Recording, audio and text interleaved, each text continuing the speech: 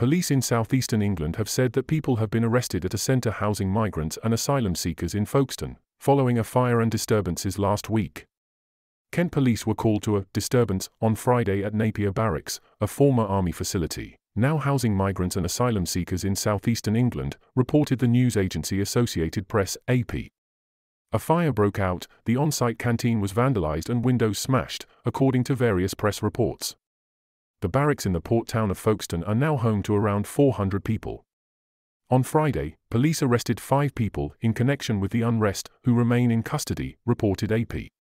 A further people were arrested. The police suspect that the fire could have been caused by arson. Windows were also smashed during the disturbances. According to police statements, no serious injuries were sustained, but a significant amount of damage was caused to one part of the site following a fire. England following a fire at the site. The reported that on Saturday, Kent police were working alongside the Home Office and the fire service to establish the full circumstances of what went on and identify any individuals involved. Government report. In the Home Office's Interior Ministry Equality Impact Assessment, carried out in September, reports The Independent, ministers said that the less generous support provided to asylum seekers was justified by the need to control immigration.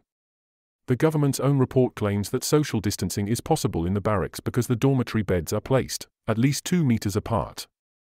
They also claim that regular cleaning will take place to reduce.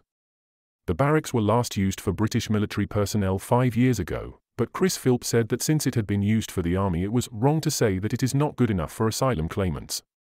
The Home Office made a statement to the New saying that the department was meeting all its statutory duties to accommodate asylum seekers.